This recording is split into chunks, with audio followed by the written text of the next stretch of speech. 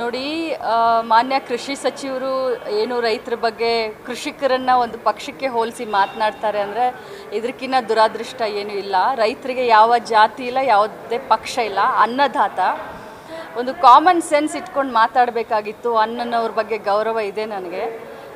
A P M C ಕಾಯ್ದೆ ಬಗ್ಗೆ ಇಲ್ಲಿಕ್ಕಿಂತ ಒಳಗಡೆ ಹೋರಾಟ ಮಾಡಲಿಕ್ಕೆ ನಾವು ಆಗಲಿ ನಮ್ಮ ಪಕ್ಷ ಆಗಲಿ ಸನ್ನದ್ಧ ಆಗಿದ್ದೇವೆ ಈ ಕರೋನಾ ಮಹಾಮಾರಿನಲ್ಲಿ ಅದರಲ್ಲೂ ಫ್ಲಡ್ ಬಂದು ಹೋದಾದ್ಮೇಲೆ ರೈತರ ಕಷ್ಟವನ್ನು ಕೇಳಲಿಕ್ಕೆ ಸರ್ಕಾರ ಕಿವಿನೂ ಇಲ್ಲ, ಕಣ್ಣು ಇಲ್ಲ, ಹೃದಯನೂ ಇಲ್ಲ.